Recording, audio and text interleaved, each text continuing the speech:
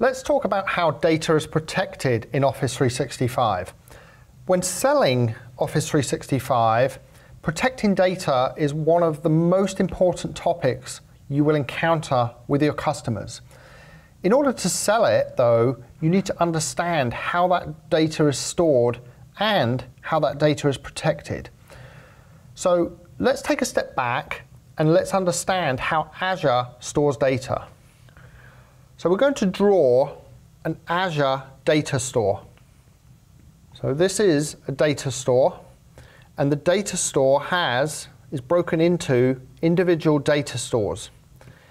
Each of these data stores is individually encrypted with AES 256 encryption.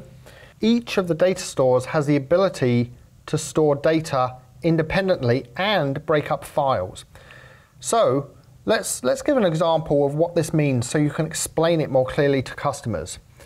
If you have Exchange, if you have SharePoint, in the old way of storing data, what would happen is you would have a hard drive and it would store all of your data in the hard drive for Exchange. It would store all of your data in the hard drive for SharePoint. When you wanted to recall that data, it would recall it from the same hard drive and the same for Exchange. It would recall that data from the same hard drive. So how does Office 365 do this differently? Well, it's important to understand that firstly, what it does is it puts some of the data in one data store. It then, if the file is bigger than 64, uh, 64K, it then fragments that file and puts it into multiple data stores.